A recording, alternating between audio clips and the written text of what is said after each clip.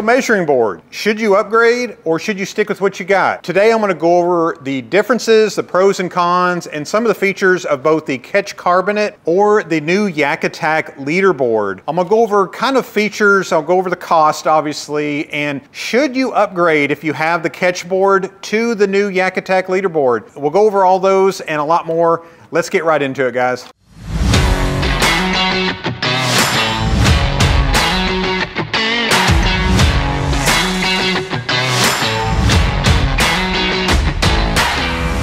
Okay guys, so I'm gonna start off by talking about this right here. So this is Ketch's Carbonate series. This is the 26 incher. Uh, another popular size they have is the 32 incher, but this is my personal Ketch board in the 26 inch. It fits on a lot of the newer kayaks out. Uh, a lot of kayaks are coming out with features to accommodate this specific board, and I'm talking about the Bonafide RVR or the Bonafide PWR 129.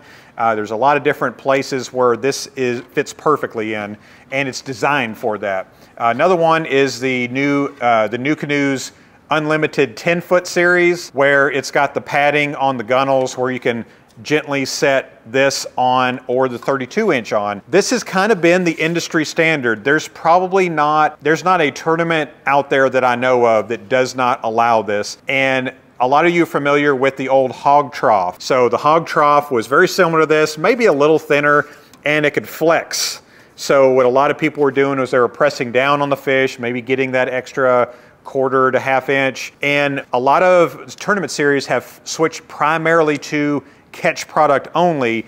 And if, I, if I'm not mistaken, I think the Hobie BOS, you know, the Bass Open Series, they go to the aluminum. So just for comparison's sake, I will be going over the carbonate, but Ketch does still do the aluminum boards, which again, gives you a little bit more of that premium feel and a lot, you know, little to no flex while still being lightweight. So things I like about the Ketch board, again, extremely lightweight here. It'll fit in a majority of kayaks. It goes really nicely with the Roto-Grip paddle holders, and this is something that a lot of anglers had discovered in you know just the last year or two here, and especially now with the double header from Yak Attack, and I'll kind of put pictures up on the screen as I'm talking about this stuff so you guys see what that looks like.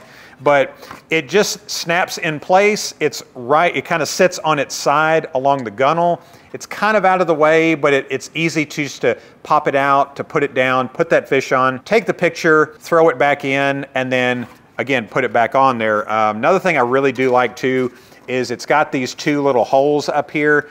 That is for tethering, which I always suggest, you know, things happen out there. Maybe a, a motorboat goes by, throws a bunch of wake at you, tips the boat over. Again, these don't float, and I'll get to that here in a second, of course, but that is one thing to consider. Um, I've gone through one of these already, not from it sinking. It fell out of the back of a truck and I ran over it. So there's been some videos of people running over these and I'm not breaking. I, I broke the you-know-what out of mine. So anyways, it was actually my wife, so I shouldn't say it was mine, but uh, of course I had to buy a new one for her. But this is the 26 inch Ketch board. Again, absolutely zero wrong with this. So if you're rocking one of these already, you're probably asking yourself the question with the Yak Attack leaderboard coming out, is it worth the upgrade? So this board comes in at $29.99, so right at 30 bucks. If you want the ID tag holder, which I've got right here, um, basically what this does is this slides right on it and you put that fish on the board. You've got your identifier up here that's got your numbers and letters. Uh, I know KBF does the cards that you can print out where you can put different identifiers on there. That identifier, this, this slider here will run you another $30, $29.99. So this doubles the cost of this. Not something I was crazy about, so I didn't get it at first, but it's really worth getting this just to have the ease and it's just a lot of a lot of us have done the sharpie marker on the back of the hand while we're holding onto the fish or I used to have one of these little uh, plastic pockets that Jackson Kayak sells and it's got a strap that goes around your hand and just a little bit of a neater setup but this is convenience just this is a premium on convenience right here is basically what that is. These two together, you're looking at 60 bucks plus the accessories to hold it onto your kayak if your kayak isn't already built to hold these specifically, which just a couple of them are. I see that changing in the future, uh, but you know, it is what it is. So Again, that's the Ketch. I like it, I own it. So now we're gonna go to this bad boy. This is the Yak Attack leaderboard. And you can kind of see, just for comparison's sake, the size difference. You can actually fit the Ketch inside the Yak Attack one here. So it is quite a bit wider. I'll kind of show some clip footage, kind of showing the comparison, the size on this. This is what originally kind of caught my eye on this. So We've all seen pictures of people, uh, you know, on Facebook, on Instagram.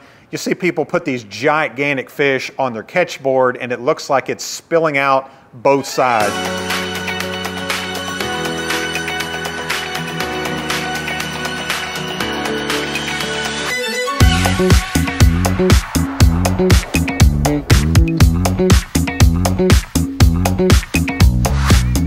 I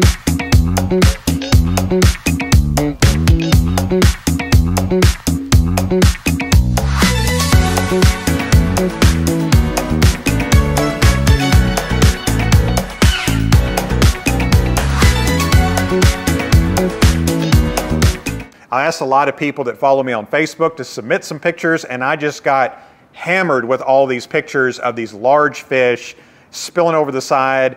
Or, you know, again, keep in mind that makes it a little bit harder to secure it to the board. So we've all had that story of that fish jumping off, like you see right here. But with the Yak Attack board, this is going to be quite a bit easier for that. So not only is it wider, but it's got a little bit of a ditch to it. So it's recessed down a little bit more.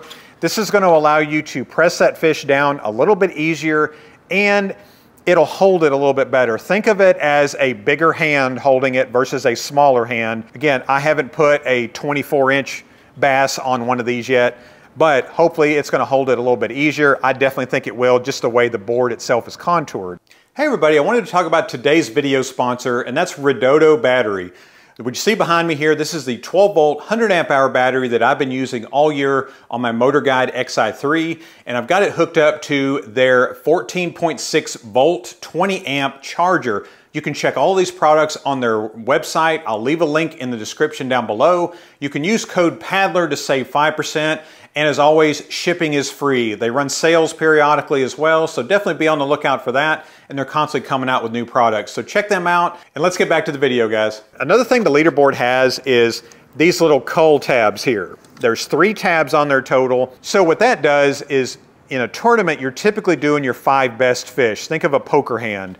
So if you've got five fish on the board, you're fishing to upgrade your, your smallest fish. What this does, this allows you to slide these over to the length of your three smallest fish. So when you do put a fish on there, all you got to do is reference the tabs and you know whether this is an upgradable fish or not. I like that. That's just such a small feature to me, but it's just a, a real nice convenience. Another thing that comes with this, again, small thing, but just something they thought about, you got this little mirrored backing on the wall here. That is something that you do not get with the Ketchboard. Now the Ketchboard does come with a Ketch branded sticker.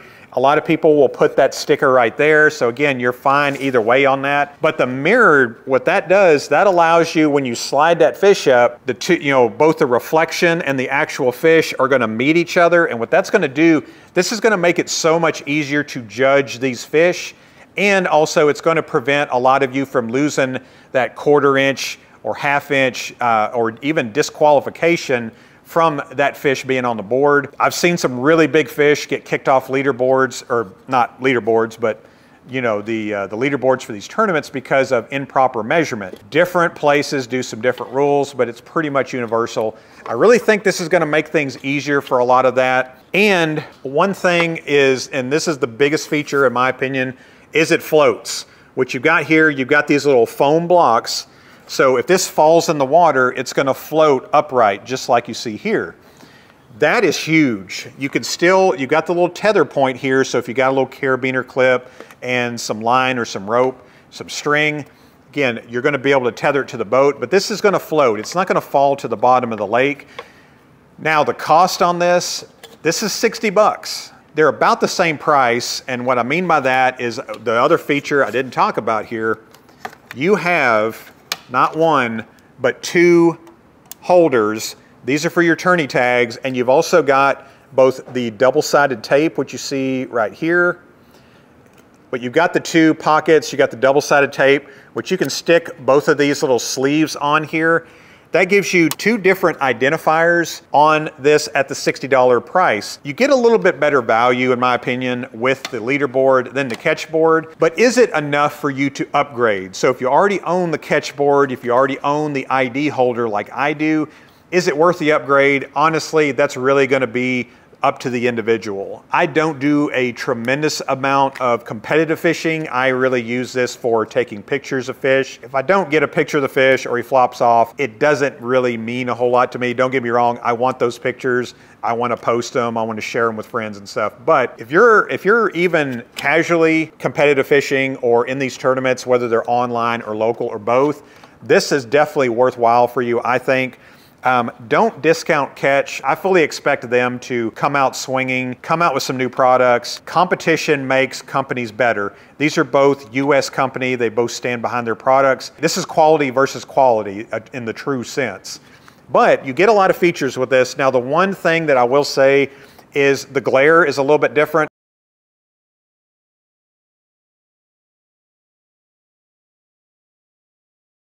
And you can kind of you can kind of see it right there. Uh, I've, got a, I've got a light here to the side, so you can kind of see the light. Honestly, I have not seen that that is a deal breaker with me, but it is, it is a little bit different.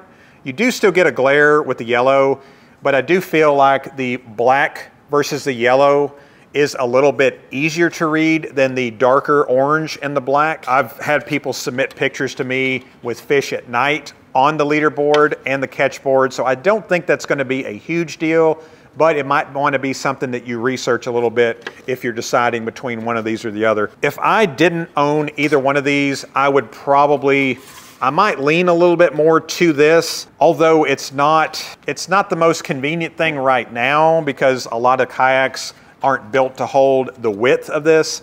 That's coming. Uh, Yak Attack already has a double header with the roto grip holder that, that holds the leaderboard. I'll show a picture of it because one, of one of you guys sent me a picture of theirs with that same setup. Really, really nice.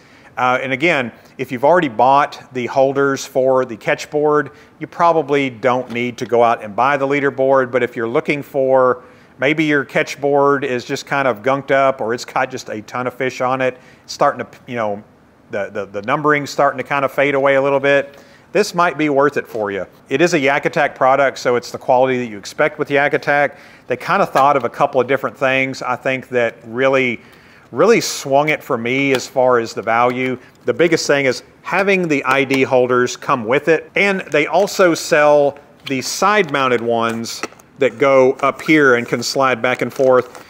This is also two as well, so this will kind of fold up and you've got two different uh, ID holders on this as well. So if you want the two outside and the two up here, I even saw a picture of somebody had two side mounts on there for four tags. Again, you just like you would expect with Yak Attack, you can kind of configure everything kind of how you're wanting it to. Uh, Yak Attack, I always compare, you know, it's like Legos. You know, you can kind of build it like you want it. What do you think of the Yak Attack leaderboard? Uh, I'll post up some more of these pictures of people submitting them on both the Ketch and the Yak Attack board. You can kind of see what I'm talking about, about some of these fatter fish. And again, if you're, if you're out there catching these things, God bless you.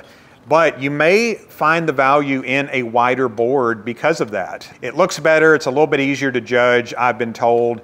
And it just, if you can find the space to put this on it, they've also got, I believe Yak Attack's got uh, kind of a holster that you can attach to your BlackPak Pro or your milk crate, and this will slide right in and lock so you can kind of keep it, you know, on one side or the other.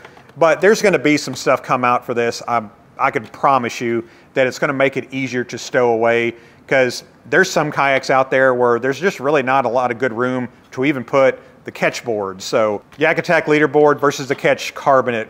What, is, what are your thoughts? Are there some questions maybe that I didn't address in this video that you have? Let me know down in the comments below. Start a conversation down there. There's a lot of people that have experience with both of these products. And if you have any questions for me, I'm more than happy to uh, interact with you and address any of that. So anyways, guys, thank you so much for watching the video and we'll see you on the next one.